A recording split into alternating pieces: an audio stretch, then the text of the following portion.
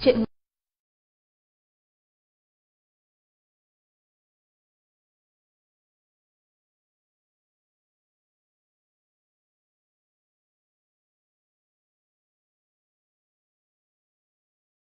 Ngôn tình, bà xã anh chỉ thương em. Tập 5, chương 58, tâm từ khó đoán. Lương Trần Trần tức giận, trừng mắt lên liếc nhìn anh một cái, đi thẳng vào vấn đề. Tôi muốn tìm đằng cận tư, anh dẫn tôi đi tìm anh ta. Trong lòng Nam Cung Thần gào to không được.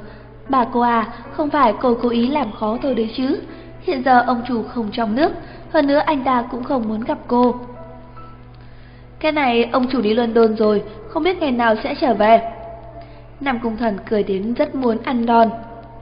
Anh lừa tôi, không phải anh ta đã đi đâu cũng mang theo anh sao? Lương Trần Trần rõ ràng không tin. Nam Cung Thần nâng chán. Lương Tiểu Thư, cô coi trọng tôi quá rồi, chỉ khi nào ông chủ xử lý công việc mới đưa tôi đi theo thôi. Hành tung thường ngày không phải ai cũng đoán được. Lòng Lương Trần Trần chật lạnh, chẳng lẽ ác ma đã chán cô? Rõ ràng là nên vui mừng mới phải, nhưng thật sự cô lại không có tâm tình đó. Này, trước khi đi anh ta có nói gì không? Lương tiểu thư, hy vọng ông chủ sẽ nói gì đấy. Nam Cung Thần cười không có ý tốt gì, nhưng anh nhớ rõ đêm hôm đó không phải Lương tiểu thư cúp điện thoại mà là không nhận điện thoại. Là một người khác cũng sẽ tức giận, huống chi ông chủ là người cao ngạo như vậy, chẳng lẽ cô cho rằng mình làm những chuyện kia sẽ không bị trừng phạt? Chuyện của anh trai tôi có liên quan tới anh ta không? Lương Trần Trần không để ý tới thái độ kỳ quái của Nam Cung Thần, trực tiếp hỏi thẳng. Chuyện của anh trai cô, chuyện gì? Đáng để Lương Tiểu Thư kích động như vậy, chạy tới chỗ này thẩm vấn. Chẳng lẽ là chuyện lớn gì kinh thiên động địa? Nét mặt Nam Cung Thần cố ý làm cho khoa trương. Lương Trần Trần có loại dự cảm, chuyện này không thể không liên quan tới bọn họ được. Sắc mặt của tên trai bao này rõ ràng là xem đang xem kịch hay. Khi nào anh ta trở lại?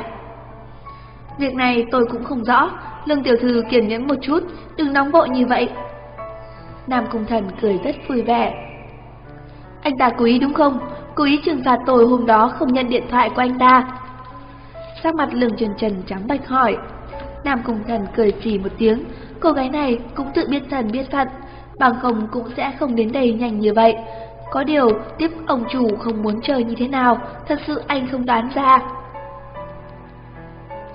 Quả nhiên trí tưởng tượng của lương tiểu thư rất phong phú, chuyện này ấy à, tôi làm thuộc hạ cũng không dám suy đoán, phải đợi ông chủ trở về nước rồi nói.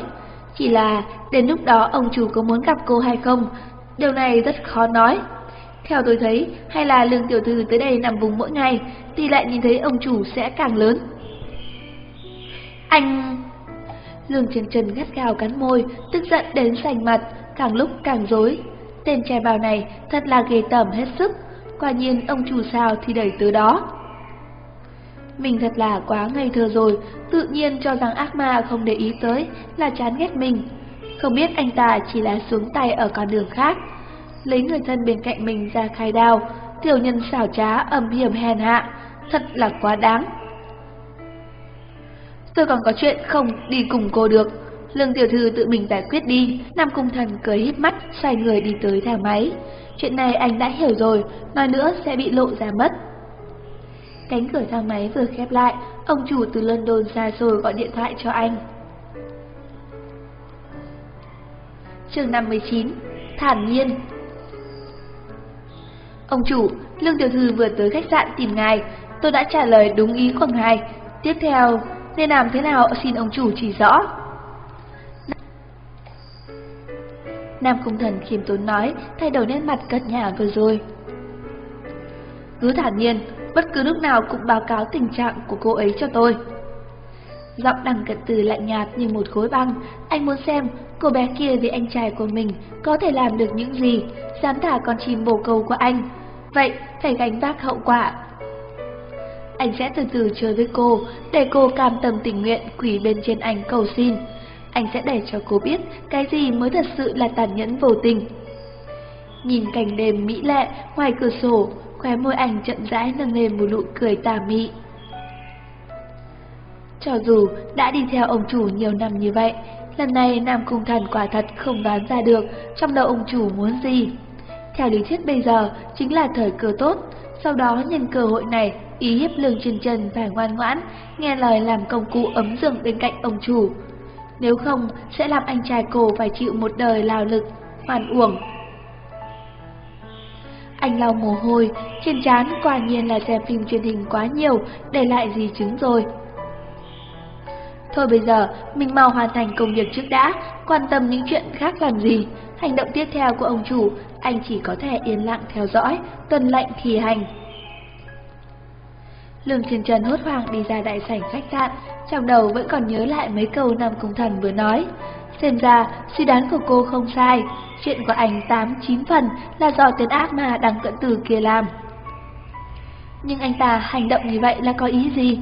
Chạy ra nước ngoài không trở lại, căn bản sẽ không để ý tới mình. Mặc cho mình căng thẳng, đây chính là cách anh ta trừng phạt mình sao? Biết rõ cô rất quan tâm người nhà, cho nên mới mang anh trai ra uy hiếp mình. Ác mà khốn kiếp, tên cận bã. Trong lòng lương trần trần hung hăng mắng anh, trước gì đường đi mua được một hình nhân rồi khắc tên anh lên. Ngày ngày lấy kim châm, dùng roi quất, tội nước nóng lên. Sau khi cô ra khỏi đó, cái cổ mỹ nữ tiếp tân nhục mạ cô trước đó run rẩy chui ra, trong lòng buồn bã không dứt. Còn mẹ nó, cái con bé nhà quê ăn mặc quê mùa này, quen biết trợ lý làm cùng thật. Còn nói chuyện với anh ta lâu như vậy. Trời ạ, không phải ngày mai cô sẽ bị đuổi việc chứ? Cũng nghi ngờ giống cô là hai người bảo vệ ngoài cửa kia, cũng kinh hồn bạt vía cầu nguyện mình không bị đuổi việc. Bằng không thì biết đi đâu tìm được một công việc tốt như thế này. Trừ ba tên nô tài mắt chó nhìn người, còn một người cũng nhìn Lương Trần Trần bằng ánh mắt nghi ngờ khó hiểu. Hôm nay, Thẩm Quân Nhã theo cha đến thăm một chiến hữu, nghe nói hai người hơn 20 năm mới gặp nhau. Thời gian trước, qua một người bạn khác mới biết được tình trạng của nhau. Sau đó, liên hẹn gặp mặt ở khách sạn Đế Hào Tư, sang trọng bậc nhất ở thành phố. À, đây không phải em gái gọi lương chân chân của A Huân đó sao? Sao cô ấy lại ở đây? Quân nhã kéo tay cha mình đi về bên kia của phòng ăn. Vừa đúng lúc nhìn thấy Nam Cung Thần nói chuyện với Lương chân chân, không khỏi lộ ra vẻ mặt nghi ngờ. Nhã Nhi, sao vậy? Nhìn thấy người quen à? Cha thầm từ tốn hỏi, nhìn theo ánh mắt của con gái. Vừa nhìn thấy cô, trong nháy mắt ông như ngây dại, Sâu trong trí nhớ, đó là hình bóng người kia cũng xinh đẹp như vậy. Cho dù đã rất nhiều năm trôi qua, nhưng ông không cách nào quên được lần đầu tiên bọn họ gặp gỡ. Chương 60 Bất ngờ trùng hợp Cha, cha nhìn gì vậy? Mau đi thôi, đừng làm bác quý đợi lâu.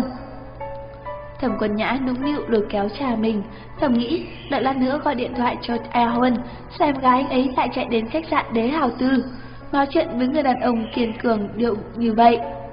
Nhìn qua lại lịch không tầm thường, nhưng không chừng lại che giấu điều gì mờ ám. Cô bé đó còn rất trẻ tuổi, nhìn rất nghiêm chỉnh mà làm sao lại... Nếu như cô ấy không phải em gái của A Huân, cô cũng chẳng muốn nhiều chuyện trà xét làm gì. Được, đi thôi. Thảm bác sinh thở dài, những người dáng dấp giống nhau trên đời này sao nhiều vậy? Chỉ là ngẫu nhiên thôi mà cũng đã 18 năm rồi, dùng mạo cô ấy sao còn trẻ tuổi như vậy được? Hơn nữa, 18 năm trước cô ấy vì tai nạn giao thông mà qua đời rồi, làm sao còn có thể xuất hiện? Chuyện năm đó, ngàn vạn lần đều do lỗi của ông, trồn sầu dưới đáy lòng, một nỗi đau vĩnh viễn không lại dành. Lương Trần Trần trở lại ký túc xá, trong lòng suy xét tới cùng có nên gọi điện thoại cho anh trai hỏi rõ ràng, rốt cuộc mọi chuyện là như thế nào. Mới vừa rồi anh nói mờ mờ hồ hồ khiến cô không nắm chắc được sự việc. Nếu muốn nói điều kiện với ác ma, cô phải hiểu rõ mọi chuyện mới được. ngày sau đó, cô liền ấn nút gọi. Anh, có thể nói cho em biết rốt cuộc đã xảy ra chuyện gì không? Đầu dây bên kia trầm mặc một chút, Chân chân, đây không phải chuyện em nên can tâm. Lúc anh không có ở đây, em phải giúp anh chăm sóc cho mẹ thật tốt, nói mẹ đi đến nơi khác sinh sống. Diệp Thành Huân đã nhận được điện thoại của Phó Tổng nói, ngày mai ra tòa án, công ty sẽ khởi tố anh tội ăn cắp buôn bán tài liệu cơ mật. Mặc dù anh bị oan uổng, nhưng sự thật ngay trước mắt, chứng cứ xác thực khiến anh có chầm cái miệng cũng không thể bảo chữa được cho mình. Trong khoảng thời gian ngắn ngủi, anh cảm thấy cả người như mất hết toàn bộ sức lực. Tất cả cố gắng cùng vất vả đổ hết xuống sông xuống biển. Xã hội bây giờ đều bạc bẽ vô tình như vậy sao? Rốt cuộc là ai có thầm thù với anh hận anh, nhất định đẩy anh vào chỗ chết. Anh, thế nào là không phải chuyện của em, không phải chuyện của em nên quan tâm. Nói không chừng chuyện này là do em. Dưới tình thế cấp bách, Lương Chân trần suýt nữa bật thốt lên. Thật may là kịp thời dừng lại. trần trần em cũng đừng quan tâm mù quáng như vậy, chuyện công việc của anh sao có thể liên quan tới em được. Diệp Thành Huân nói như đùa trách cô, hoàn toàn không để bụng, chỉ nghĩ là em gái trong lúc cấp bách nói nhảm. Anh, chuyện này rất nghiêm trọng sao? Có phải công ty sẽ sa thải anh không? Lương Trần Trần cắn môi nhẹ giọng hỏi, vừa nãy cô quá nóng này, thiếu chút nữa nói lỡ miệng. Diệp Thành Huân nhếch môi cười khổ, nếu như chỉ là sa thải, vậy căn bản anh không cần phải ủ rũ mặt mày như vậy. Bằng thực lực của anh, đi đâu cũng có thể tìm được một công việc thích hợp. Mà, một khi ngồi vững trên tội danh ăn cắp buôn bán tài liệu cơ mật, tương đương với việc cả đời anh bị phá hủy, không làm việc được, lại còn phải ngồi tù sau khi ra tù, cũng không có công ty nào dám nhận anh. Toàn bộ học vấn trở về còn số không, còn không còn khả năng phát huy nữa. Chân chân, chuyện của mẹ cầu xin em rồi, anh có thể sẽ đi xa một thời gian dài.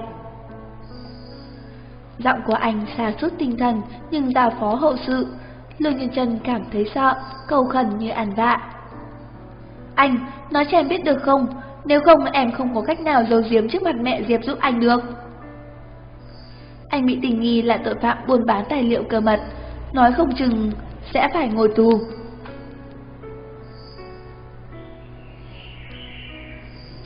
Chương 61 Lòng người dễ thay đổi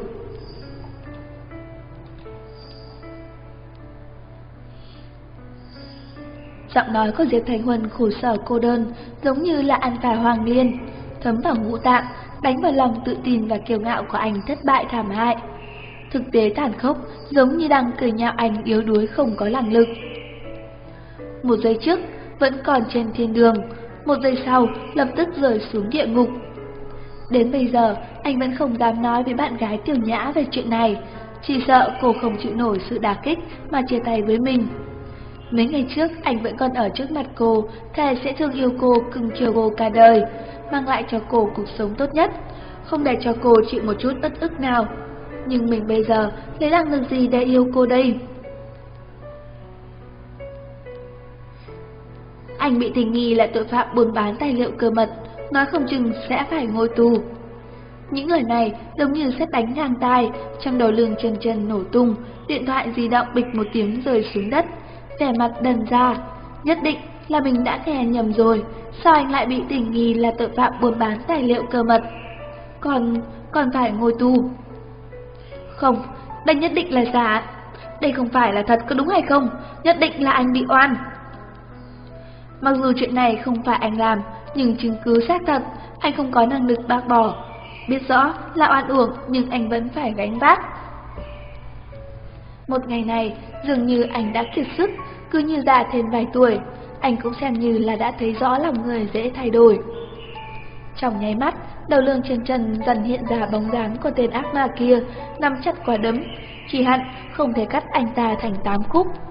Có gì thì cứ nhắm vào mình, tại sao lại còn hại anh trai ngồi tù? Anh! Được rồi, sức khỏe của mẹ không tốt, trong khoảng thời gian anh không có ở đây, em phải chăm sóc mẹ thật tốt, để mẹ yên tâm dưỡng bệnh. Diệp Thành Huân rất kịp thời cắt đứt lời của cô, giọng nói mệt mỏi, không có sức sống, khiến ngực lương chân chân hơi đau. Anh trai, thật xin lỗi là em làm liên lụy tới anh. Em sẽ không để cho anh ngồi tù đâu, nhất định em sẽ nghĩ biện pháp giải quyết chuyện này. Lương chân chân cắn môi âm thầm thẻ nói, đôi mắt sáng ngời như hai viên ngọc thạch đen hiện rõ sự quật cường. Mấy ngày kế tiếp, sau giờ học cô liền đến khách sạn Đế Hà Cư, nằm vùng ở đại sảnh. Các nhân viên và bảo vệ ở đây thấy cô thì cười tươi như hoa, chỉ sợ sơ ý một chút trong giận bà cô này hại mình mất chén cơm. Căn bản, Lương Trần Trần lời phản ứng với bọn họ. Từ trước đến nay cô hận nhất chính là những kẻ tùy tiện, bị ổi, ỷ thế hiếp người này. Người nghèo không phải là người sao, người nghèo thì đáng bị làm nhục sao. Hơn nữa, bọn họ còn là cấp dưới của tên xấu xa kia, càng làm lòng cô ngột ngạt, trừng mắt nhìn từng người một mới hả giận.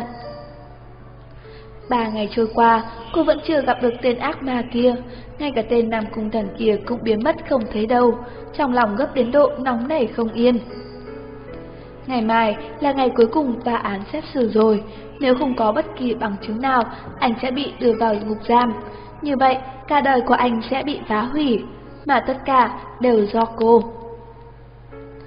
Đang trong lúc nóng này, đột nhiên nghe được mấy người đẹp tán gẫu ở phía trước. Này, các cô có nghe nói không? Nghe nói vụ án tài xế Ferrari lái xe gây sự có tiến triển mới rồi. Tiến triển mới gì? Chẳng lẽ lật lại bản án hay sao? Một cô gái khác cười nhạo nói.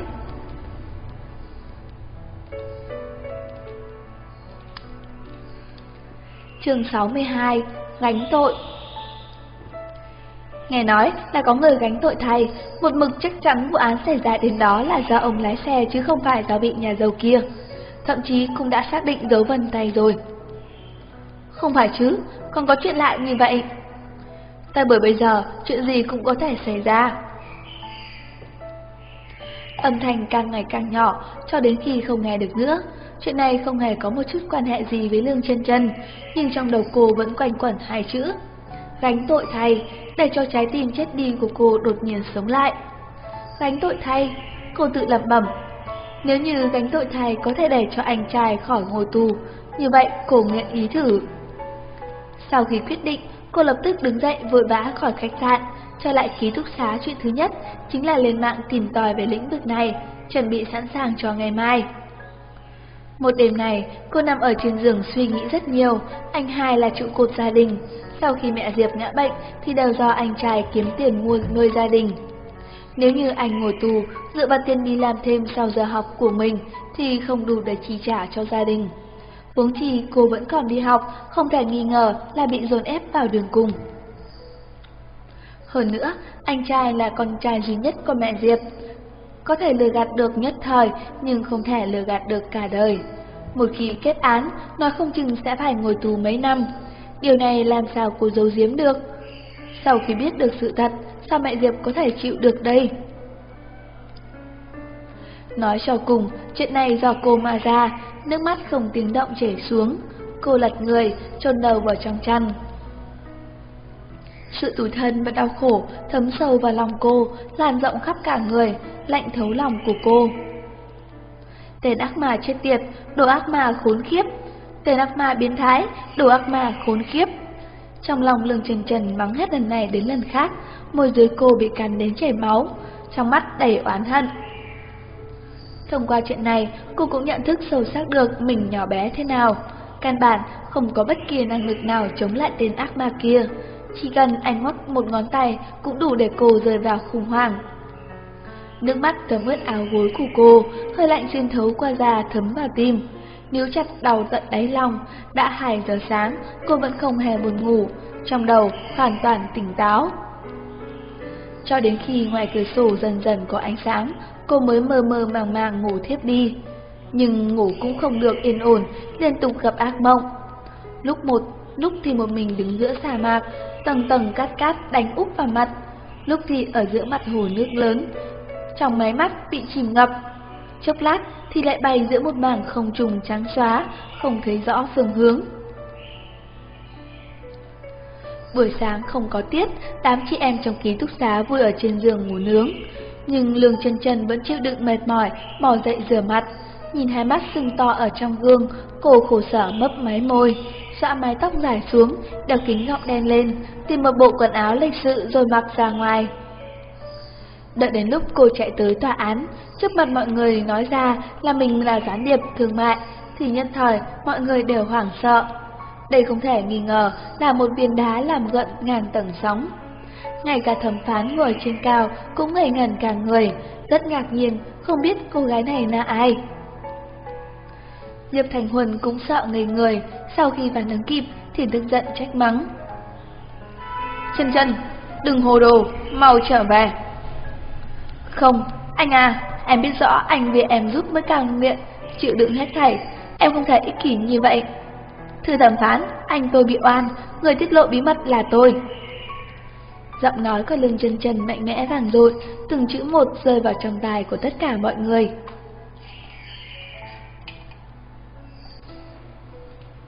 Chương 63 Cô gái đáng chết Không phải đâu, thì ra là anh trai thay em gái nhận tội. Trong đám người có giọng nhỏ giọng nói Trời, đứa em quán gái này quả là không hiểu chuyện rồi. Trước khi làm chuyện như vậy, sao không biết suy nghĩ cho người nhà của mình một chút? Đây không phải là tự hủy hoại tương lai sao? Đoán chừng là vì tiền chứ gì, phải biết bây giờ là thời đại vật chất. Nhất thời, trên tòa án ẩm mỹ giống như cái trọ, ngay cả hai bên bồi thẩm đoàn cũng bắt đầu bàn luận xôn xao. Tòa án càng lộ vẻ mặt nghi ngờ, tựa như đang suy nghĩ rốt cuộc cô gái này nói là thật hay giả. Diệp Thành Huân không thể tin, nhìn chăm chăm em gái đứng cách mình vài mét, giọng điệu của nó vô cùng chắc chắn, vẻ mặt của nó lại kiên quyết như thế, giống như đang nói một chuyện có thật. Diệp Thành Huân, em gái anh nói có thật không? Nếu thật sự như vậy, anh chẳng những có thể thoát tội, không cần ngồi tù, càng không cần lo lắng cho tương lai. Thật tốt. Một đồng nghiệp làm việc chung trong tập đoàn HIC tựa như đang nói đùa.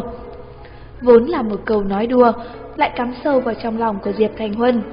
Đúng vậy, bây giờ anh rất mong có một người có thể đứng lên nói ra sự thật, nhưng người đó không phải là em gái anh. Bởi vì căn bản là không thể, căn bản chân chân không hiểu những thứ này, rất rõ ràng là đang nói náo. Yên lặng, yên lặng, quan tòa tuyên bố tạm thời ngừng lại, đợi sau khi điều tra rõ ràng sẽ tiến hành xử lý. Quan tòa to giọng nói khi thấy uy nghiêm làm mọi người kinh sợ. Bây giờ, Lương trần trần mới hiểu được, thì ra là không phải nhận tội là được. Xã hội pháp trị luôn chú trọng đến chứng cứ xác thực, cho nên anh trai còn phải phối hợp điều tra. Nhưng mà điều này cũng đủ rồi, ít nhất cô đã giúp anh trai tranh thủ thời gian. Trong khoảng thời gian có hạn này, cô nhất định phải nghĩ biện pháp gặp được đằng cận tư, chỉ cần anh bỏ qua cho anh trai, cho dù bắt mình làm trâu làm ngựa thì mình cũng chịu. Bên trong sân đánh gôn của một hội sở cao cấp bên thông Thamer ở London, các người đang cận từ mặc một bộ quần áo thoải mái, đan xen hai màu trắng đen, đang giơ gậy gôn nhắm trúng mục tiêu. Bằng một tiếng đánh trúng. Mấy ngày nay anh đều mở hội nghị qua máy tính. Lúc rảnh rỗi, liền cùng xua đã từng học qua trường ở so tài về kỹ thuật đánh bóng. Mỗi ngày vào buổi tối, Nam Cung Thần sẽ đúng giờ, báo cáo hành động của cô gái nhỏ đó. Những ngày qua, anh rất vừa lòng.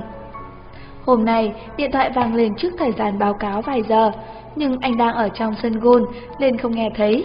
Đầu bên kia Nam Cung Thần gấp đến độ, giống như là con kiến bò vào trong chảo nóng, gọi tới gọi lui. Liêm tiết hơn 10 cuộc điện thoại đều không có người nào nghe, anh chỉ có thể gửi một tin nhắn qua.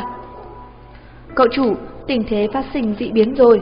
Sáng hôm nay, Lương Tiểu Thư chạy đến tòa án nhận tội, tuyên bố mình mới là người tiết lộ bí mật kia. Quan tòa tuyên bố tạm nghỉ thẩm phán, tiếp theo nên làm gì xin cậu ra lệnh. Sau 2 giờ, đằng cận từ mới nhìn thấy được tin nhắn này, trong nháy mắt, sắc mặt ẩm trầm xuống, hai tròng mắt rực nửa, môi mỏng mím thành một đường thẳng, cả người không kiềm chế được tản ra cơn thịnh nộ. Cô gái đáng chết, địa vị của người đàn ông kia ở trong lòng em quan trọng như vậy, lại chạy đi gánh tội thay cho anh ta, ngồi tù cũng không sợ. Tốt, rất tốt, tôi ngược lại muốn nhìn em còn có thể bị anh ta làm chuyện gì nữa. Bấm số điện thoại của Nam Cung Thần, lạnh lùng ra lệnh. Cho máy bay riêng tới đón tôi. Trong lòng Nam Cung Thần tát mồ hôi dùng lưng chân chân.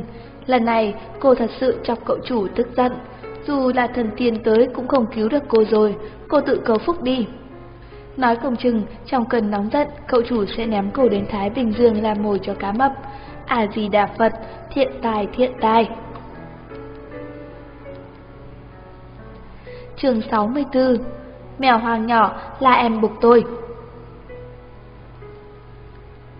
Quan tòa tuyên bố tạm ngừng nghỉ thẩm phán, mọi người lên đường ai lấy đi. Lúc gần đi rồi, rối rít nhìn hai anh em với ánh mắt nghi hoặc. Các cuộc bàn luận khó nghe cứ vang lên bên tai không dứt. Lương chân chân xem qua tất cả như không có gì. Lúc quyết định đi bước này, cô đã sớm chuẩn bị tốt những gì phải chịu đựng. Cho nên, dù có khổ sở hay khó hơn nữa, cô cũng sẽ kiên trì. Vì anh trai, việc gì cô cũng nguyện ý làm. Mệt mỏi, kiệt sức.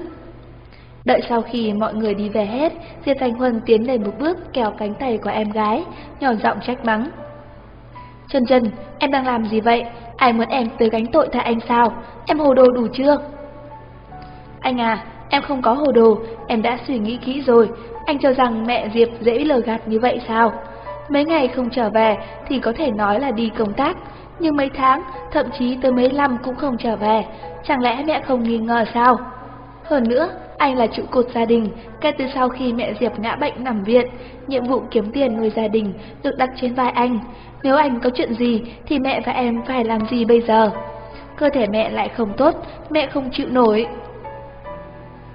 Lương chân chân nghẹn ngào nói, nước mắt không khống chế được chảy xuống theo gương mặt, lướt qua khé môi, khổ sở khó khăn nuốt xuống. Chân chân Diệp Thành Huân tựa như thở dài, khẽ gọi một tiếng, đưa ngón tay phủ lên gương mặt trắng nõn như gốm sứ của cô mà an ủi. Lòng ngón tay êm ái lau khô nước mắt trên khóe mắt cô. 13 năm chung sống, anh đã sớm xem Trần Trần là người mà mình yêu thương nhất, mà gần đây mới phát hiện cô có tình yêu nam nữ với mình. Trong lòng vừa cảm thấy vui sướng, vừa phiền não. Anh! Trong giọng nói mềm mại của lưng trần trần lộ ra tình ý, êm ái phất qua lòng của Diệp Thành Huân. Một giây kia, quỷ thần xui khiến, anh đã ấn xuống trên trán trần trần một nụ hôn. Thuận thế ôm cô vào trong ngực, cầm chống đỡ trên đầu cô, nhẹ nhàng, thở dài một tiếng. Lương chân chân gần như tham lam, hưởng thụ sự ấm áp trong ngực anh trai. Đây là một lần cuối cùng, anh trai đã có chị Quỳnh Ngã làm bạn rồi, cô cũng nên hoàn toàn tuyệt vọng rồi đè xuống phần trách nhiệm này, đứng xa xa, nhìn bọn họ hạnh phúc là đủ rồi. Nhưng cô không biết một màn này đã bị thám tử do Nam Cung Thần mới chụp được. Hình ảnh ôm nhau này thật sự là rất chói mắt. Bởi vì vụ án còn trong quá trình điều tra, Diệp Thanh Huân và Lương Trân Trân chỉ cần phối hợp điều tra, thời gian còn lại đều được tự do. Buổi tối hai người liền cùng nhau về nhà. Kể từ sau khi mẹ Diệp xuất viện, cả nhà bọn họ vẫn chưa chính thức ngồi chung một chỗ ăn bữa cơm. Trong phòng khách, một nhà ba người vui vẻ hòa thuận, Lương Trần Trần vùng ống tay áo ở trong phòng bếp nhỏ hẹp, giúp mẹ Diệp nấu cơm, lúc thì rửa khoai tây, lúc thì cắt cà chua. Chỉ cần loại vui vẻ đơn giản và bình thường như vậy cũng đủ để cho cô cảm thấy rất thỏa mãn, rất hạnh phúc. Chị ước gì cả đời này đều trôi qua như vậy, thật là tốt biết bao. Hôm nay, tâm tình của Diệp Lan rất tốt, con trai đi công tác trở về, con gái cũng ở đây, một nhà ba người hòa thuận ăn bữa cơm, vô cùng ấm áp. Hôn à, gần đây công ty rất bận à, sao hay đi công tác như vậy, con đừng để cho bản thân quá mệt mỏi đó. Diệp Lan nhai cơm dặn dò. Dạ, biết rồi mẹ, cơ thể con khỏe mạnh lắm. Diệp Thành Huân cười hà hà trả lời, trước tiên chuyện này chỉ có thể gạt mẹ, Mẹ vừa mới xuất viện, cơ thể còn chưa khỏe hẳn, căn bản không chịu nổi kích thích. Lương Trần trần vẫn rũ đầu bới cơm, bức trước khi cô và anh trai về nhà đã giao hẹn cẩn thận rồi. Mặc kệ ra sao thì trước tiên vẫn nên giấu mẹ Diệp. Chuyện sau này, sau này hãy nói. Chân chân à, sao này còn ít nói vậy? Ở trường học bị ăn hiếp sao? Hay là công việc ở nhà hàng Tây không được tốt à? Diệp Lan là người tỉ mỉ tinh tế, mọi cử động của người thân đều quan sát rất tỉ mỉ. Rõ ràng, bà cảm thấy tối nay hai đứa bé này có chỗ nào không ổn. Nhưng cụ thể là chỗ nào không ổn lại không nói ra được. Tóm lại, chính là khiến cho bà có một loại cảm giác là lạ. Không có đâu, mẹ Diệp, con ở trong trường học, rất biết điều. Mọi người đối với con đều rất tốt. Công việc ở nhà hàng Tây cũng rất nhẹ nhõm, rất ok. Lương Trần Trần nâng lên một khuôn mặt tươi cười, ngọt ngào làm nũng nói. Diệp Lan rất muốn nhìn ra điều gì ở trên mặt cô, nhưng thật sự là tìm không ra bất cứ sơ hở nào. Thở dài, coi như là mình đa tâm đi, ngay sau đó đối đề tài nói chuyện. Sau bữa cơm chiều, Lương Trần Trần không muốn trở về ký túc xá, có được dịp ngủ với mẹ Diệp để hưởng thụ này tình thương ấm áp, y hệt của mẹ. Chiều nay, cô ngủ rất ngon, ngay cả khóe miệng cũng hơi nhếch lên. Nhìn lại Diệp Thành Huân thì không được bình tĩnh như vậy rồi, anh một mực đắn đo có nên gọi điện thoại cho bạn gái không. Nói chuyện anh bị hãm hại cho cô biết, đã chuẩn bị hết những lời sắp nói ra, nhưng anh vẫn chần chừ do dự. Anh thật sự sợ hạnh phúc ngắn ngủi này lập tức sẽ tàn vỡ, biến mất không còn thấy tăm hơi. Trong lúc anh do dự, đột nhiên điện thoại di động vang lên. Đây là tiếng chuông anh cài riêng cho tiểu nhã, vừa nghe cũng biết. Phút chốc, trong lồng ngực dâng lên một sự ngọt ngào khó có thể diễn tả bằng lời. Không chút do dự, ấn phím nghe. Tiểu nhã, còn chưa ngủ sao? Sớm như vậy, sao người ta ngủ được? Mấy ngày nay anh đang bận rộn chuyện gì vậy? Cả ngày không thấy bóng dáng, cũng không tới đón người ta tàn việc. Thẩm quân nhã nũng nịu nói lầm bầm, trong lòng mơ hồ hơi bất mãn. Người ta đều nói, lúc đàn ông theo đuổi bạn, sẽ xem bạn như bảo vật quý giá, nâng niu trong lòng bàn tay. Sau khi đuổi theo được rồi, lại không nóng lòng không lạnh. Phất lờ, không để ý tới, cô vốn trò là Diệp Thành Huân sẽ khác với những người đàn ông kia. Thật không nghĩ đến, anh cũng học những thói xấu của những người đàn ông kia, bắt đầu sĩ diện rồi. Diệp Thành Huân bị cô làm nũng đến ngực cũng tê dại, chỉ hận không thể lập tức bay đến nhà ôm cô vào trong ngực, hùng hăng hôn một phen. Nghe được trong giọng nói của cô có sự oán trách thì không khỏi căng thẳng, cuống quýt an ủi. Tiểu Nhã, mấy ngày này thật sự là quá bận rộn, là anh không tốt, ngày mai anh tới đón em tàn việc được không? Được rồi, thế anh có lòng xin lỗi, em đại nhân không chấp nhận với tiểu nhân. Thẩm quần nhã nũng nịu thở dài, vậy thì cho anh thêm một cơ hội, không dám quý trọng mình. Trong đầu đột nhiên hiện ra một gương mặt xinh đẹp anh Tuấn, nhiều tiền. Lần trước ở khách sạn Đế Hào Tư nhìn thấy con trai của bác Quý, trên hữu cũ của bà, bà Quý Vạn Tây. Một giây kia ở trong lòng cô thầm so sánh bạn trai Diệp Thành Huân với anh ta. Phát hiện bạn trai cô ở trước mặt anh ta thua kém về mọi mặt, thật làm cho cô rất thất vọng.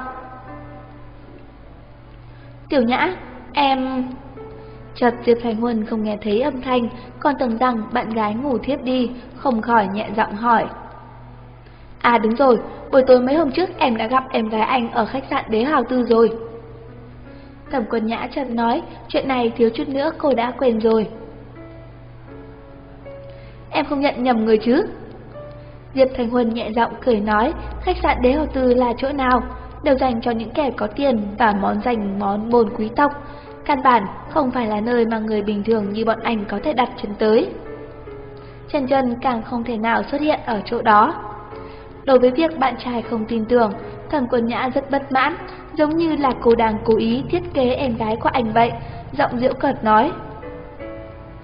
Em đã nhìn kỹ rồi, tuyệt đối là em gái anh, không biết em ấy và một người đàn ông ăn mặc sang trọng đang nói gì ở đây, nhìn nét mặt và cử chỉ hai người dường như rất quen thuộc. Chẳng có lúc ấy em có chuyện nên không qua chào hỏi với em ấy, đoán chừng em ấy cũng không muốn bị em nhìn thấy, chuyện này rất khó nói mà. Không thể nào, chân chân đơn thuần thiện lương, tuyệt đối không phải là cái dạng gái đó. Diệp Thanh Huân không nhịn được lớn tiếng phản bác, em gái của anh giống như một đóa hoa sen trắng thuần khiết tốt đẹp. Sao lại là thứ đàn bà kinh khủng trong miệng tiểu nhã nói ra? Mặc dù em ấy đã từng vì phí giải phẫu của mẹ mà bán cơ thể của mình, nhưng đó cũng là do bất đắc dĩ, là bởi vì mình vô năng nên mới ép em ấy làm vậy. Diệp Thành Huân, tại sao anh lại lớn tiếng với anh như vậy? Em chỉ là có lòng tốt nhắc cho anh xem chừng em gái của mình, đừng để cho em ấy làm loạn ở bên ngoài. Anh vậy mà nghi ngờ em vụ an hãm hại em ấy, còn kích động đến như vậy. Em thật sự hoài nghi anh có tình cảm đặc biệt gì với em gái anh hay không? Thẩm quân nhã giận đến bộp một cái cúp điện thoại, ném con gấu bông Diệp Thành Huân tặng cù xuống đất, trong miệng tức giận mắng. Anh Mỹ nghĩ mình là ai vậy? Bổn tiểu thư đồng ý quen với anh là để mắt tới anh, là phúc phận của tù đám kiếp mới có được, lại dám là tôi. Anh thì là cái thá gì chứ, đúng là không biết điều. Mà bên kia, điện thoại Diệp Thành Huân vẫn đang hối tiếc không thôi. Vừa rồi quả thật mình quá kích động rồi, nhất thời nóng lòng, làm mất lòng tiểu nhã. Nhất định, bây giờ cô ấy đang rất đau lòng, vội vàng gọi lại, lại phát hiện vô luận gọi như thế nào đều không có người nghe, không khỏi lo lắng, nhắn hết tin này đến tin khác an ủi xin lỗi cô. Tất cả đều giống như chìm xuống biển không chút tin tức, anh chống mặt ngã xuống giường. Mấy ngày nay đã xảy ra rất nhiều chuyện, anh rất muốn nói cho Tiểu Nhã biết, để cô cùng chia sẻ với mình. Sự an ủi và động viên của cô là động lực lớn nhất của mình. Nhưng... Khóe miệng không khỏi nâng lên một nụ cười khổ. Tính cách của Tiểu Nhã anh rõ ràng nhất, hiếu thắng lại sĩ diện, mà người có thể chia sẻ với bản thân cũng chỉ có cô nhóc Trần Trần kia. Thật ra thì cũng không phải anh nghi ngờ lời của Tiểu Nhã, chỉ là trong tiềm thức không muốn tin tưởng Trần Trần vẫn qua lại với vị đại gia kia. Xem ra, đêm đó ở trong sân trường, thấy một bóng lưng giống Trần Trần, chắc là em ấy không thể nghi ngờ. Rốt cuộc thì có ẩn tình gì mà khiến Trần Trần còn liên lạc với người nọ? Chuyện này và em ấy gánh tội thay mình có liên quan với nhau không? Còn có một lần Trần Trần lỡ lời. Sao? Anh sao không phải là em? Quan tâm chuyện. Chuyện này nói không chừng là do em. Lúc đó anh chỉ xem như lời nói như vậy. Vậy mà hôm nay anh không khỏi suy nghĩ sâu. Tất cả đến cùng cũng đã xảy ra chuyện gì? Người hãm hại anh rốt cuộc là ai? Rốt cuộc có quan hệ gì với Trần Trần hay không? Kim chủ của cô là ai? Ôm mấy nghi vấn này, anh từ từ ngủ thiếp đi, thầm nghĩ đợi ngày mai hỏi Trần Trần là được. Về phần tiểu nhã, ngày mai rút thời gian hẹn hò lại với cô, không biết mình đã bị người ta đá. Hơn 10 giờ ngồi trong máy bay trên không trung, nhìn qua đăng cận tư không hề có chút mệt mỏi nào. Ngược lại, càng lúc càng mạnh mẽ kiên cường, khí phách phi phàm, cả người tản ra một loại khí phách cao quý vương giả, như thần để mọi người quỳ lạy. Nam Cung Thần đi tới nhận lấy tây trang màu đen mà cậu chủ cởi xuống, chỉ mặc áo sơ mi đen, quần tây dài đen thì anh đã tựa như tùng giả, cả người bao phủ một loại khí thế tàn bạo, khiến người khác cảm giác được loại áp lực vô hình. Lập tức mang cô ấy đến biệt thự Lan Đình Uyển cho tôi. Giọng nói có đang cận từ lạnh tới tận xương tủy. Vâng, tôi lập tức làm ngay. Nam Cung Thần kính cẩn nhận lời, hôm nay không thể chọc cậu chủ đâu, trên người cậu chủ như trang bị đầy đủ súng đạn, ai đụng vào sẽ chết không nơi chôn thân. Đợi sau khi Nam Cung Thần rời đi, Tăng Cận Từ nắm chặt quả đấm, khớp xương vang lên tiếng rắc rắc giòn vang. Nhìn vào thì bình tĩnh như mặt phù không có cận sóng, chỉ có khóe miệng nhếch lên một nụ cười tàn nhẫn. Mèo hoang nhỏ là em buộc tội tôi. Trong sân thể dục của trường đại học F, một đám nam sinh tràn trề sức sống đang truyền bóng. Trên khán đài, từng tốp từng hàng nữ sinh vây đầy xung quanh, hắng giọng hô to vì nam sinh mình thích. Cố lên! Lương Trần Trần biểu hiện dã rời, cô không có bất kỳ hứng thú nào với bóng rổ. Hồi cấp 3, thường đi xem là bởi vì ở trong đó có anh trai, mà bây giờ đã không còn người để cô đi cổ vũ. Trần Trần, sao cậu phờ phạc như vậy? Gần đây hành tung luôn xuất quỷ nhập thần, cậu không sao chứ? Tiết Giai Ni không nhịn được hỏi nói. Không có mà, chỉ là do mình phải đi làm thêm mà thôi, cho nên trong tương đối bận. Lương Trần Trần bén tóc rơi xuống chán, cười nói. Trần Trần, cậu thật cực khổ quá, đại học chính là thời điểm tốt để yêu đương, sao cậu có thể dùng hết những khoảng thời gian tốt đẹp này đi làm thêm vậy? Đầu các xuyến bù lại, mặt nghiêm túc nói. Trời ơi, hai cậu tiếp tục xem đi, mình đến thư viện đọc sách, bye bye. Lương Trần Trần không muốn tiếp tục cái đề tài này nữa, cô phát hiện gần đây mình luôn trốn tránh rất nhiều thứ, hơn nữa càng cãi càng nhiều bí mật giấu giếm các bạn, kiềm nén nên đến cô cũng không thở được. Trần Trần, thứ bảy tuần này bạn trai mình sẽ dẫn bạn của anh ấy tổ chức sinh nhật cho mình. Đến lúc đó, có nhìn chúng ai thì nói cho chị đây biết, chị đảm bảo sẽ giúp em. Các xuyến lớn tiếng nói, Lương chân chân mỉm cười với cô một cái rồi đi, lưu lại một bóng lưng cô đơn cho các cô. Tiết Giai Ni cao mày nhìn bóng lưng bạn tốt. Kể từ sau khi mẹ Diệp ngã bệnh, trên mặt chân chân rất ít khi cười, ngay cả bóng lưng cũng khiến cho người nhìn cảm thấy bi thương. Xem ra, phải tìm thời gian tâm sự với cô ấy một chút rồi, chuyện gì cũng giấu ở trong lòng là không được, sẽ rất buồn bực. Trường 65 Cầu xin tôi, cầu xin thế nào? Thư viện nằm ở vị trí tương đối vắng vẻ, hơn nữa còn đang trong giờ học. Trên dọc đường rất ít người, Lương chân chân ít khi được đi nhàn nhã dọc theo bờ sông. Các bàn đá xanh trên đường xếp thành một lối đi nhỏ, cảm nhận được gió nhẹ mềm mại lướt qua mặt, xen lẫn hương thơm nhàn nhạt, nhạt của cỏ xanh. Bỗng dừng trái tim bình tĩnh lại, cô không kiềm chế được đưa tay về phía đỉnh kề liễu non mềm, cảm nhận sức sống mạnh mẽ của nó, khóe miệng nhàn nhạt, nâng lên một chút ý cười, lười biếng, Nhìn chúng nó nhẹ nhàng lay động vòng eo mềm mại, mảnh mai ở trong gió, cơ thể thướt thà quyến rũ giống như đang làm nũng chơi đùa với người yêu, có một loại yên tĩnh mang sắc thái xinh đẹp. Cứu! Đúng lúc lương trần trần nhắm mắt say mê ở giữa cảnh đẹp của thiên nhiên, thì bất ngờ miệng bị người khác bịt lại, tiếp theo cánh tay cũng bị giam cầm không thể nhúc nhích. Lương tiểu thư, tiếng kêu của cô có thể đưa tới rất nhiều học sinh tới đây xem, Đến lúc đó, ảnh hưởng đến danh dự của cô, tôi khuyên cô nên ngoan ngoãn đi theo tôi. Nam Cung Thần lại gần bên tai cô, nửa uy hiếp, nửa trêu chọc nói. Buông ra!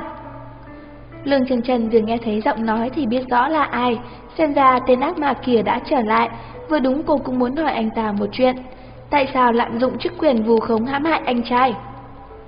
Nam Cung Thần không dễ dàng buông cô ra như vậy, việc khẩn cấp trước mắt là đưa cô tới trước mặt cậu chủ. Khi cửa xe đóng lại, Lương Trần Trần tức giận hất cánh tay ra, tức giận nói. Tôi cũng không phải là không biết đi, anh xem tôi như phạm nhân mà đè ép tôi sao?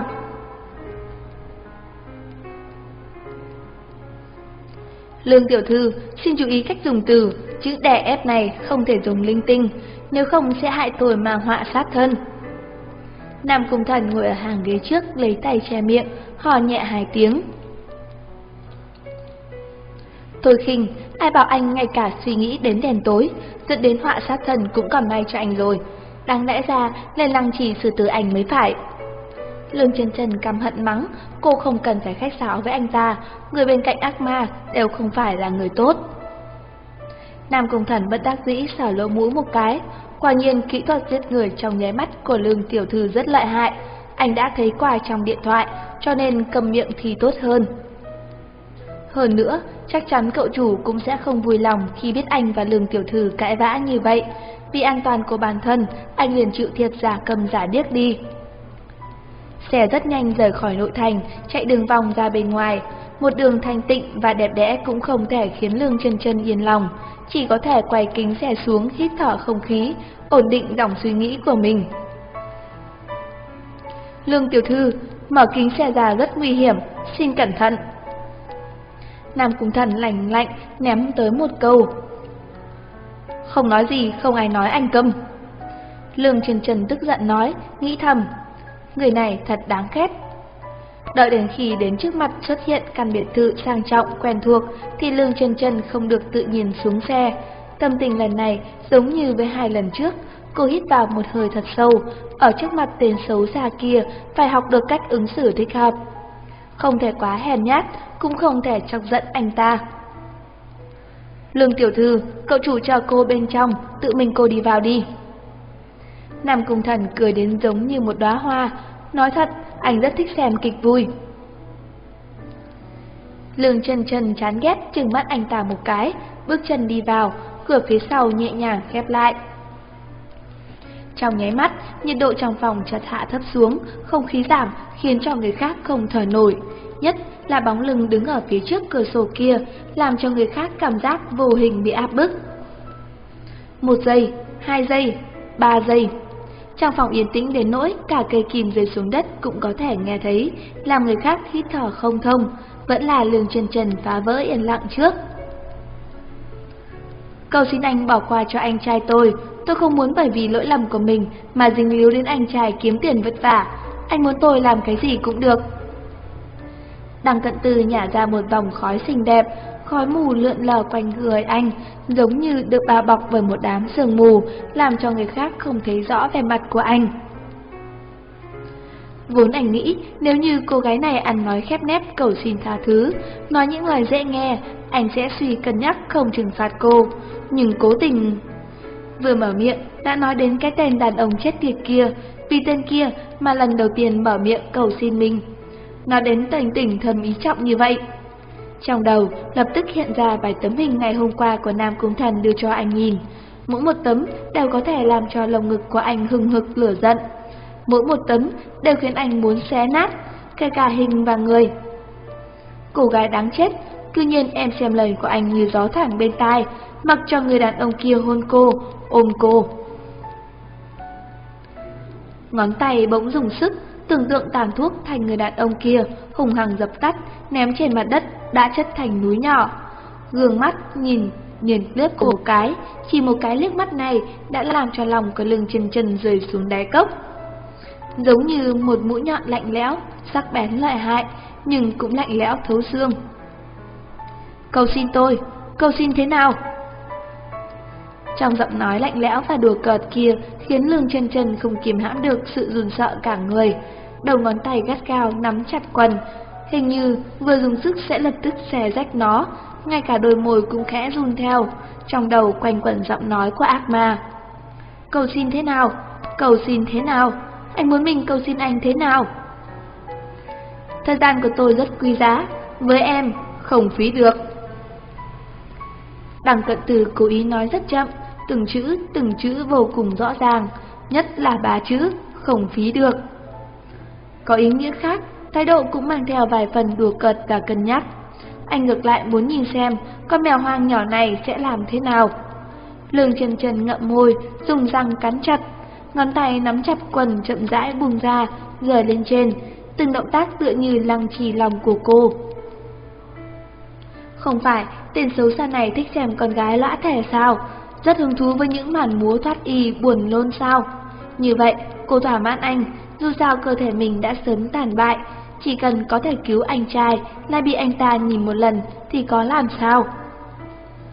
Đầu ngón tay dừng ở nút áo sơ mi thứ nhất, khẽ động, thuận thế đi xuống. Trong mắt đen như chim ưng của đằng cận từ khẽ nhào lại, làn da trắng nõn mịn màng kích thích thị giác của anh, còn có hai thứ tròn trịa được bao bọc ở trong nội y kia. Chỉ tưởng tượng thôi, bụng dưới của anh liền dâng lên một cỗ khổ nóng quen thuộc. Đáng chết, để cho cô cầu xin mình thì bày ra vẻ mặt như cha mẹ mất, khiến cho anh nhìn phát chán. Trong nháy mắt, nút áo lót được cởi ra, Nước mắt của Lương Trần Trần không nhịn được nữa, âm thanh móc kim lại rơi xuống sàn gỗ, đâm sâu vào lòng của cô. Ngón tay run rẩy đưa đẩy về phía dây lưng quần jean. Động tác chậm lại, Lương Trần Trần không tiếng động khóc rất bướt. Trước mắt mở mịt dâng lên một tầng sương mù mỏng, mặc dù trong lòng cô nói với mình. Đừng khóc, nhất định phải chịu đựng, đừng khóc nhưng vẫn không nhịn được, cái lại khuất nhục từ trong lòng sinh ra thật khiến cô không thể chịu nổi. Thu lại mấy giọt nước mắt không đáng tiền của em đi. Đằng cận từ phiền não quát, trong cơ thể vừa dâng lên, trong nháy mắt bị sự tức giận mãnh liệt trồn vùi theo rồi. Thật xin lỗi, đúng không đáng tiền. Lương Trần Trần vừa bị anh quát, cảm thấy uất ức trong lòng, nhưng cô biết anh không thích phụ nữ khóc, chỉ đành phải cố nhịn nước mắt đã tràn ra mì xuống. Cút! Lực uy hiếp cường hãn trong mạng miệng đằng cận từ phát ra, lạnh rét người. Dường như lương trần trần có chút không thể tin được, nâng khuôn mặt nhỏ nhắn đầy nước mắt lên nhìn anh. Anh nói mình cút, không phải nên lên giường sao? Tôi... Cô à à ô ô còn chưa nói ra khỏi miệng, liền bị đằng cận từ cắt đứt nghe không hiểu tiếng người sao, tôi nói cầu cút. Thật xin lỗi, tôi không khóc, tôi thật sự không khóc. Từ trong ánh mắt chán ghét của lương chân chân lập tức ý thức được chuyện gì xảy ra, hai cánh tay lau nước mắt, nhưng lau thế nào cũng không khô. Đằng cận từ nhìn bộ dạng của cô thì tâm trạng thiền phiền, xài bước đi ra cửa. Đừng đi mà, tôi đảm bảo không khóc.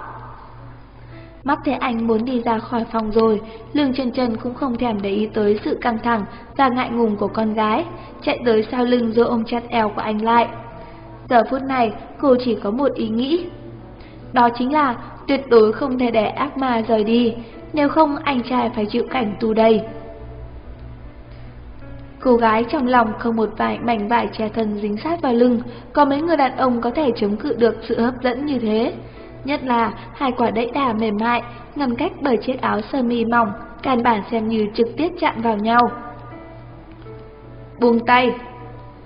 Giọng nói của đăng cận từ lạnh lùng, cất giấu tình dục nồng nặc. Không buông! Lương Trần Trần bướng mình ôm chặt hơn, không biết mình đang tiếp xúc thật nật mật với người nào, mà giờ phút này hiển nhiên cô đã quên căn bản mình không có mắc bất cứ thứ gì, trong đầu là một mảnh hỗn loạn. Đợi đến sau khi nhớ lại hành động ngày hôm nay, cô xấu hổ đến nỗi gương mặt đỏ bừng, chỉ ước gì có thể nhanh chóng tìm một cái lỗ chui vào.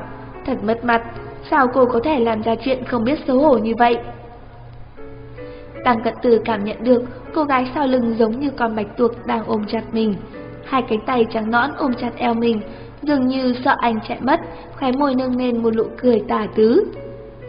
Rất tốt, là em tự mình đưa tới cửa, ưng trách tôi không biết thường hưởng tiếc ngọc.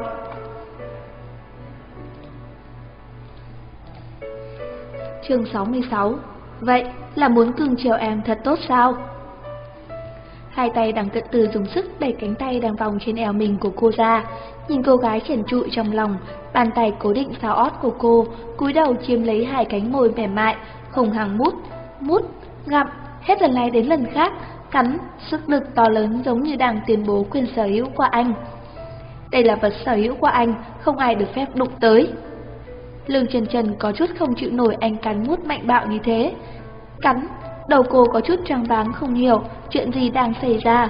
Cô chạy tới ôm anh, chỉ muốn cầu xin anh bỏ qua cho anh trai, cũng không phải để bị ăn sạch sành xanh.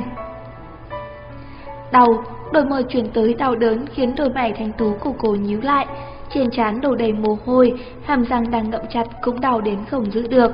Hơi sơ suất không đề phòng, lưỡi của anh liền tiến quần vào, thầm tốc, mang theo sự xâm lược cuồng quét sạch sẽ mỗi một chỗ trong miệng cô. Mút lấy mật ngọt trong miệng cô, đầu lưỡi càng thêm bá đạo dây dưa, quấy nhiễu đến nỗi hô hấp của cô cũng dồn dập theo. Cô cảm thấy anh giống như một cơn mưa lớn đang tức giận, căn bản cũng không phải là hôn, mà là tức giận cắn mút, đôi môi cô đau đến chết lặng. Mình thật giống như món điểm tâm ngọt trong miệng của anh, mặc cho anh điên cuồng cắn mút. Hai chân đứng không vững sụi lờ xuống, lại bị một đôi tay khỏe mạnh có thế lực bế lên. Cô còn chưa kịp hiểu chuyện gì xảy ra thì đã bị nhẫn tâm ném tới ghế salon. Lương chân chân kêu lên một tiếng, nhanh chóng cầm lấy nệm ghế salon nên che gấp chỗ kín của mình. Ánh mắt hoảng sợ, nhìn ác ma từng bước, từng bước đi về phía mình. Đi đến cách mình ba bước, anh dừng lại, còn người u ám lạnh lùng nhìn cô, đùa cợt trầm chọc nói. Thế nào, mới vừa rồi là ai chủ động chạy tới ôm chặt tôi, bây giờ lại giả vờ ngây thơ, chẳng lẽ nụ hôn này làm cho em nhớ lại chuyện gì sao? Không, tôi chỉ muốn để anh rời đi. Lương Trần Trần uất ức lắc đầu một cái, tại sao anh ta lại nói mình như vậy? Không muốn tôi rời đi, vậy là muốn tôi cưng chiều em thật tốt sao? Trong mắt đang giận từ nhuốm đầy từ máu tàn ác, hiển nhiên như ác mà chuyển thế. Lương Trần Trần gắt gào cắn môi, yên lặng thừa nhận anh đùa cợt. Biết giờ phút này mình nói cái gì cũng không xong, nói không chừng còn chọc giận ác ma. Như vậy, chuyện của anh trai sẽ không có một tia hy vọng nào. Ôi, tỏ ra oan ức như vậy là đang nhớ tới chuyện ôm ấp và hôn hít với anh trai em sao? Ngón trỏ của đằng cận tư nâng cầm của cô lên, ép buộc cô nhìn thẳng vào mắt mình. Ngay cả anh cũng không ý thức được trong lời nói của mình nồng nặc mùi giấm chua. Mà lúc này, lương chân chân bị hù dạ càng không suy nghĩ tới phương diện kia, chỉ biết sợ hãi, trợn tròn mắt. Trong đầu nhớ lại lời vừa rồi của anh ta nói, ôm ấp và hôn hít với anh trai. Anh thấy người theo dõi mình sao? Thì ra, toàn bộ hành tung của mình đều nằm trong lòng bàn tay của anh ta. Ở trước mặt của anh, mình chỉ như con tôm nhỏ trong suốt, nhảy lên thế nào cũng trốn không thoát nằm ngón tay của anh ta. Nhìn bộ dáng cô ngây người như phóng, Tăng Cận Tư cho là cô thật sự đang nhớ lại tất cả với người đàn ông kia. Trong mắt tức giận, trồng chất, cả người tự như phủ lên một tầng bằng mỏng, lạnh thấu xương. Đàn ông lãnh khốc vốn rất đáng sợ, đàn ông lãnh khốc lại đèn ghen tuông đáng sợ hơn. Toàn thục cởi hết quần áo trên người mình, khỏa thân đến gần lưng chân chân đang giò trên ghế salon, khuôn mặt đầy tức giận khiến cô sợ đến lùi về sau. Thật sự cô và anh trai không có cái gì, anh trai chỉ nhẹ nhàng chạm lên trán cô một cái, căn bản không phải là hôn, hơn nữa cái ôm đó cũng là có nguyên nhân. Nhớ tôi đã nói gì với em không? Tăng cận từ đi tới gần cô, kẹp cô ở giữa hai chân mình, khiến cô không nhúc nhích được. Lương chân chân sợ hãi lắc đầu một cái, lại gật đầu một cái. Anh nói qua nhiều lời như vậy, sao cô biết bây giờ anh đang nói câu nào? Bất kỳ người đàn ông nào dùng chỗ nào chạm vào em, tôi lập tức chặt chỗ đó của hắn. Giọng nói của anh giống như tới từ địa ngục hùng dữ vô tình. Không, anh trai không có hôn tôi, lúc ấy, hoàn cảnh lúc ấy, đặc biệt tôi, chúng tôi không phải như anh nghĩ, như vậy. Lương chân chân bị bộ dáng khát máu của anh dọa đến nỗi nói lắp bà lắp bắp, những lời này sao cô không nhớ rõ được, vẫn còn nhớ khi lần đầu tiên khi nghe được những lời này đã mang đến cho cô một trận rung động mãnh liệt. Cô cho là chuyện như vậy chỉ có các đại ca xã hội đen trong tivi mới làm, không ngờ. Hả? Vậy thì là gì? Đằng cận từ nắm thật cầm của lương trên chân, cắn răng nghiến lại hỏi. Ngày ấy, tôi đến tòa án, gánh tội thay cho anh trai, anh ấy cảm thấy tôi rất ngu. Sau đó, hôn lên trán của tôi, thật sự chỉ quan hệ anh em bình thường. Lương chân chân dừng dậy giải thích. Hắn ta nói không sai, em quả thật rất ngu. Ngón tay của đằng cận từ xà cái môi sưng đỏ của cô, có thầm ý khác nói. Lương chân chân, em có chút đoán không ra ý nghĩ của anh, mở to trong mắt đèn sững sờ nhìn anh. Gánh tội thay, em cho rằng đi gánh tội thay hắn, thì hắn không cần ngồi tù sao? Tôi... Cô còn chưa nói hết, lên bị đằng cận từ cắt đứt. Đừng nói chuyện, đừng ở trước mặt tôi nhắc tới người đàn ông khác, nhất là hắn ta, nếu không...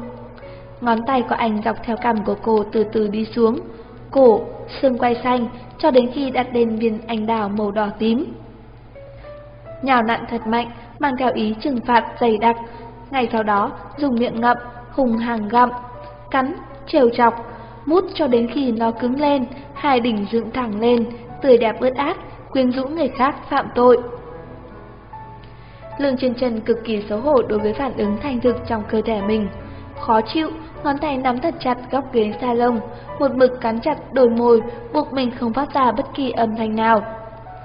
Nhưng mặc dù như thế, cô vẫn cảm thấy chính mình sắp không chống đỡ được. Đột nhiên, một vật nóng rực dán chặt vào chỗ riêng tư của cô. Nơi đó mạch đập nhảy lên khiến gương mặt cô đỏ ửng vì xấu hổ. Lo lắng di chuyển xuống, lại phát hiện nó giống như lại lớn hơn một chút. Cô bị dọa, sợ không dám lộn xộn nữa.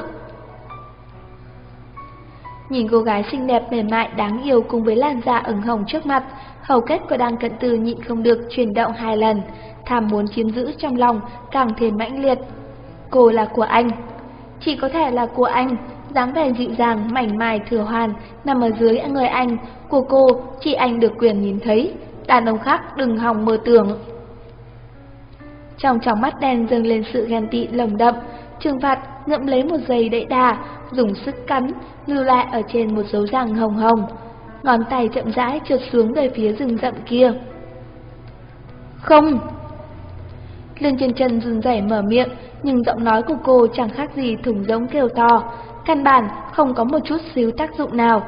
Ngược lại có một dáng vẻ nhõng nhẽo, nửa từ chối nửa hoan nghênh, tựa hồ đang nói ra một tầng ý khác.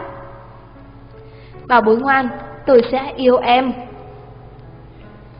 Đằng cận từ tà mị nhếch môi, toàn bộ khí nóng trong miệng run hết vào bên tai nhạy cảm của lưng chân chân, chọc cho cô khẽ run một trận, không không chế được, liên tục thở gấp. Đối với phản ứng của cô, Tăng Cận Từ cực kỳ hài lòng, ngón tay tà ác duỗi vào, tìm đúng chỗ nào đó rồi bắt đầu vân về. Quen thuộc, mỗi một cái đều cố ý nhanh, chính xác, ngoan độc. Kích thích đến nỗi, lương chân chân không khống chế được khẽ ngầm nga. Ừ một tiếng, ngay sau đó kịp phản ứng gắt gao, cắn chặt đôi môi. Sao cô có thể không biết xấu hổ như vậy, không biết thẹn như vậy? Rõ ràng mạnh bạo, dữ dội mà cô còn cảm thấy có chút xíu sung sướng sao? Đây nhất định là không phải cảm xúc chân thật của cô, bởi vì cơ thể quen thuộc anh xoa nắn, mở màn cho nên mới không thể khống chế suy nghĩ như vậy. Lại có một đầu ngón tay duỗi vào, trong nháy mắt, từng đợt từng đợt khoái cảm trong cơ thể truyền đến, thẳng đến từng dây thần kinh trong người cô. Nhưng cô vẫn ép buộc mình nhịn xuống, nhất định phải nhịn được. Ngoan, đừng chịu đựng, rên lên. Giọng nói của đằng cận từ mị hoặc khàn khàn, mang theo sức hấp dẫn trí mạng, khiến lương trần trần thiếu chút nữa không chịu nổi rền thành tiếng. Nơi nào đó dưới bụng đã sớm kêu gào muốn xông ra, duỗi lưng một cái, xông vào. Mặc dù anh đã dạo đầu đầy đủ, nhưng bởi vì đã hơn 10 ngày không có đi vào, chú ấy vẫn còn rất chặt, dồn ép khiến anh có chút không chịu nổi, thịt non bốn phương tám hướng chặt chẽ bảo vệ lấy anh, có một loại sảng khoái mất hồn. Rốt cuộc, trong nháy mắt lúc lưng chân chân bị sỏ truyền qua kêu lên một tiếng, vốn là tiếng kháng nghị đau đớn, nhưng thanh âm nhỏ nhẹ, nũng nịu, mất hồn như vậy. Đằng cận từ bị âm thanh quyến rũ của cô làm cho xương cũng mềm đi, động tác càng thêm mãnh liệt. Một lần so với một lần còn mạnh hơn khiến lưng chân chân sắp không chịu nổi, móng tay cắm thật sâu vào trong ghế sofa. Đớn đau lúc đầu đã từ từ bị một loại khoái cảm không nói lên lời thay thế. Lương trần trần cực hận mình như vậy, nhưng cố tình không thể ra sức, chỉ có thể nhịn. Cô không biết khi nào anh mới có thể dừng lại, giống như một cuộc chiến mãi mãi không kết thúc, ép tới cô không thể nổi. Theo tần số rung động của anh, mà cô thỉnh thoảng liên tục thở gấp, thỉnh thoảng ngâm nga buồn bực. Vui sướng trong cơ thể, tự như muốn nổ tung, truyền khắp cả người. Từ trên ghế salon trong phòng khách, rồi đến chiếc giường lớn trong phòng ngủ, Lương chân trần không biết anh muốn mình bao nhiêu lần, trong lòng cực kỳ cảm hận thể lực anh tốt như vậy. Sau khi xong chuyện, cô chỉ cảm thấy gần cốt cả người mình sắp gãy, nhất là phía dưới, đau đến cô không dám khép hai chân lại. Vốn cô định sau khi xong chuyện, cô sẽ bàn bạc chuyện của anh trai. Nhưng giờ phút này, cô mệt mỏi đến nỗi không mở mắt lên nổi, căn bản không có hơi sức mở miệng nói chuyện, mê man ngủ thiếp đi.